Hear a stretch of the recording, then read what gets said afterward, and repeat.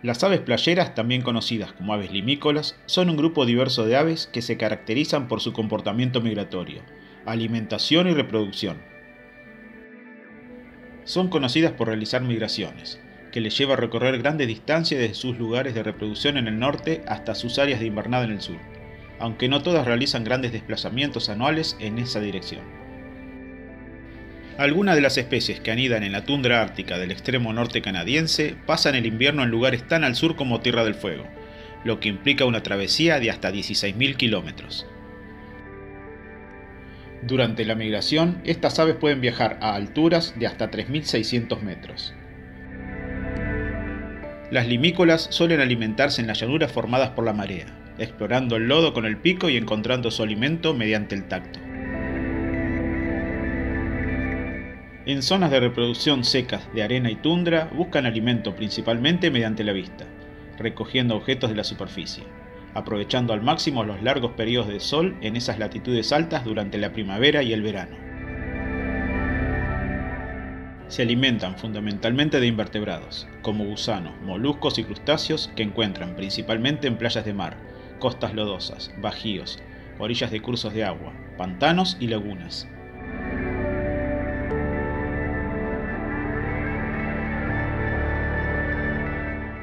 Migración. Se dividen en tres tipos de migrantes, A, B y C.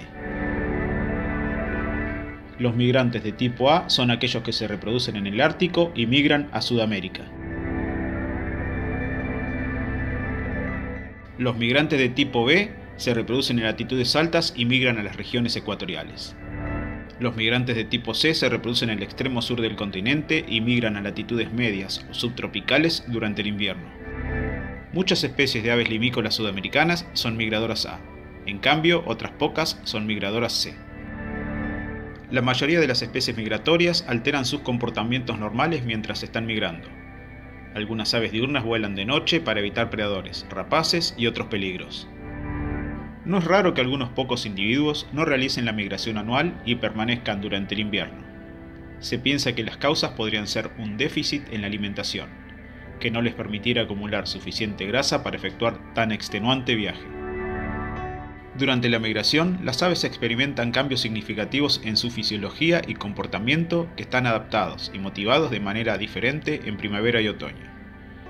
Algunos de los cambios fisiológicos que ocurren en las aves playeras durante la migración incluyen cambios en el tamaño de los órganos y músculos. Un estudio sobre los playeros del género Numenius encontró que experimentan cambios rápidos en el tamaño de diferentes grupos de órganos y músculos funcionales durante el reabastecimiento. Estos cambios son probablemente adaptaciones a las altas demandas energéticas de la migración. Aumento de la tasa metabólica.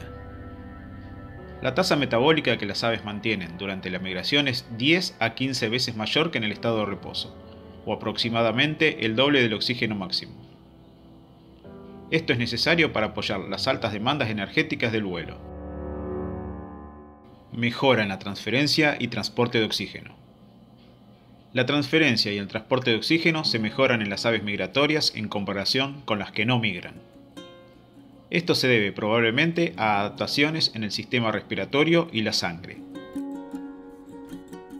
estos cambios permiten a las aves completar con éxito sus migraciones de larga distancia y llegar a sus áreas de reproducción e invernada.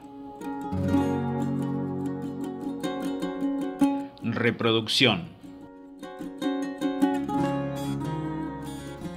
Los migradores A anidan en la tundra ártica del extremo norte canadiense y en otras zonas de reproducción a lo largo de Norteamérica.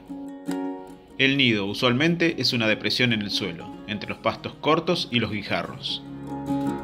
Los huevos de las aves playeras suelen tener pequeñas manchas marrones y un color ocráceo o verdoso, ideal para pasar desapercibidos en su entorno. La incubación la realizan ambos sexos y dura alrededor de 21 o 22 días. Las aves playeras cambian de plumaje una vez al año, generalmente después de la temporada reproductiva. En algunas especies, los machos y las hembras tienen diferencias en el tamaño y el color del plumaje aunque la gran mayoría de las especies no presentan dimorfismo sexual. Picos.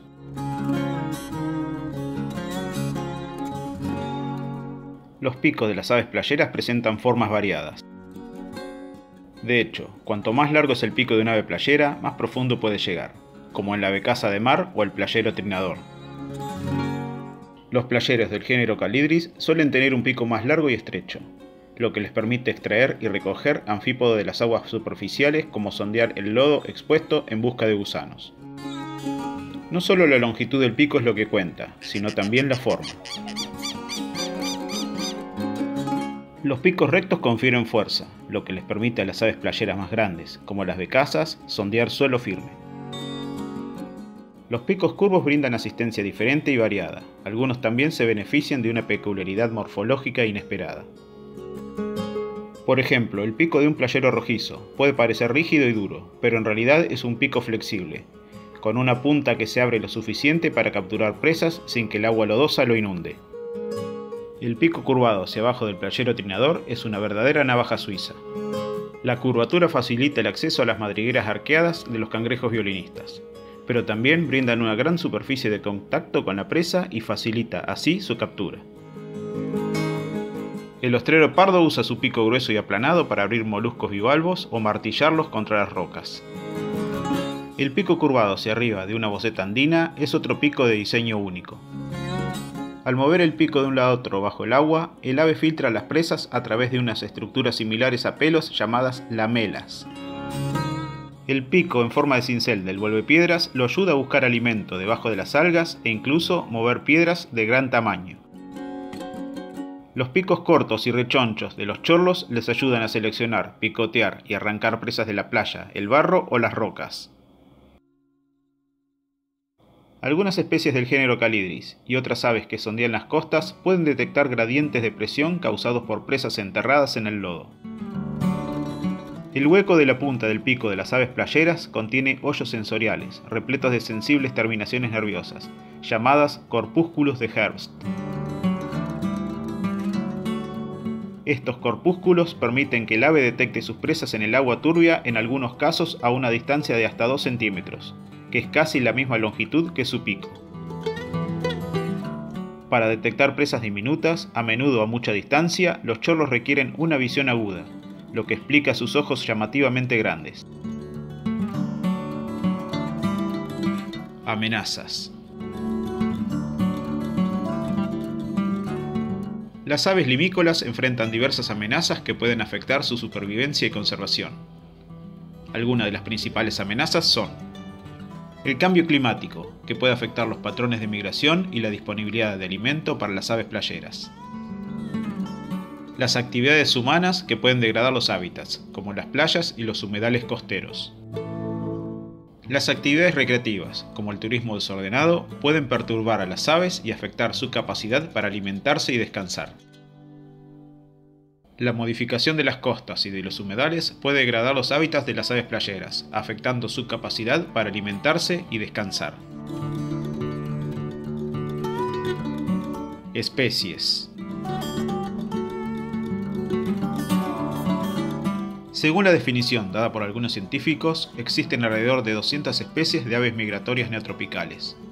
La mayoría son aves cantoras, pero también incluyen a muchas aves playeras, algunas aves rapaces y algunos tipos de aves acuáticas. A continuación, algunas de las especies de aves playeras que habitan en Sudamérica.